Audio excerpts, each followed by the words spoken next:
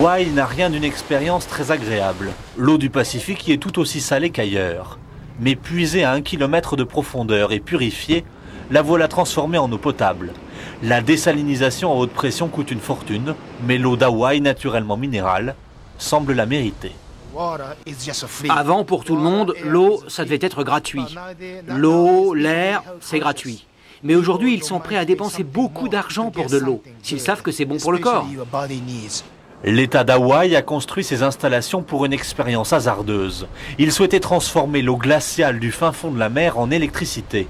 L'île n'a jamais produit le moindre kilowatt, mais ses canalisations ne sont pas perdues pour tout le monde. Désormais, chaque jour, l'équivalent d'une piscine olympique sort de cette usine en petites bouteilles. Et au Japon, ce breuvage fait des ravages. Ce n'est que de l'eau de mer, c'est aussi la plus chère des eaux minérales. Et alors, il lui prête des vertus exceptionnelles.